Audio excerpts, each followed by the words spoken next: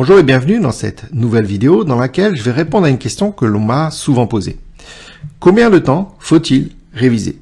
Alors en effet, hein, si on révise trop, on risque de s'épuiser et à force de se dégoûter. C'est une erreur fréquente faite par de nombreux parents et même certains enseignants qui veulent aider leurs enfants ou leurs élèves et qui, en pensant bien faire et sans s'en rendre compte, finissent par épuiser la bonne volonté des enfants.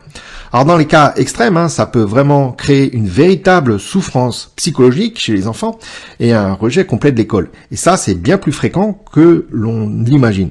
Alors à l'inverse, hein, si on ne travaille pas assez, on risque de ne pas progresser, d'accumuler petit à petit les lacunes et de se laisser distancer.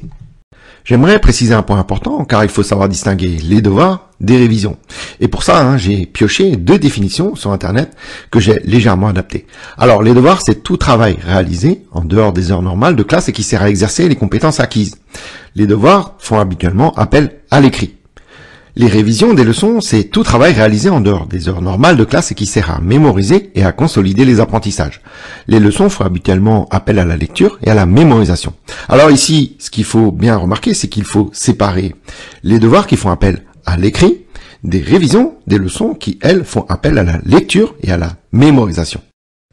Deuxième point important, c'est que la capacité de concentration dépend de l'âge et selon le docteur Vermeil, la durée maximale de concentration soutenue, alors j'insiste bien, hein, c'est concentration soutenue, pour 6 à 7 ans, c'est d'environ 15 à 20 minutes, pour 8 à 9 ans, c'est environ 20 à 30 minutes, pour 10 ans à 11 ans, 30 à 40 minutes, pour 12 ans et plus, la capacité va encore augmenter.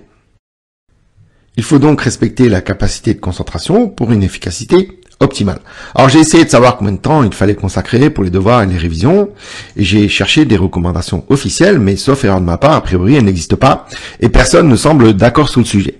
Alors je me lance malgré tout, et je vous conseille d'appliquer la règle suivante, alors ça n'engage que moi, hein, et la durée de révision plus devoirs ne devrait jamais dépasser pour 6 à 7 ans 15 à 20 minutes, pour 8 à 9 ans 20 à 30 minutes, pour 10 à 11 ans 30 à 40 minutes, pour 12 à 13 ans 60 minutes, pour 13 ans à 14 ans, 1h30, dont une pause de 5 minutes. Alors, j'insiste bien ici, il s'agit bien de la durée totale, révision plus devoir, et non pas révision tout seul. Hein. Lorsqu'on a des difficultés d'apprentissage, on peut facilement être tenté de dépasser cette durée en espérant améliorer les résultats. Mais une étude menée en 2013 par des neuropsychologues américains de l'université de Carnegie Mellon aux États-Unis montre que lorsque la durée d'une session d'apprentissage dépasse un certain seuil horaire, alors la mémorisation des informations qui avaient été acquises jusque-là au cours des premières heures de travail se voit menacée. En fait, on mémorise beaucoup moins. Il faut donc éviter absolument de trop travailler et donc de trop réviser. Peut-être que vous dépassez systématiquement cette durée et vous demandez qu'est-ce qu'il faut faire? Alors dans ce cas, il y a trois causes possibles. Premier cas, l'enseignant ou les enseignants donnent trop de devoirs et c'est bien plus fréquent que l'on ne le croit. Et j'ai vu une enseignante au CM1 donner 1h30 de devoirs à ma filleule alors que c'est une élève vraiment efficace et brillante et que l'enseignante en question était une bonne enseignante. Deuxième cas possible, il s'agit d'un trouble d'apprentissage. Alors là, dans ce cas-là, hein, je vous recommande vivement de consulter des professionnels qui pourront vous aiguiller et vous aider.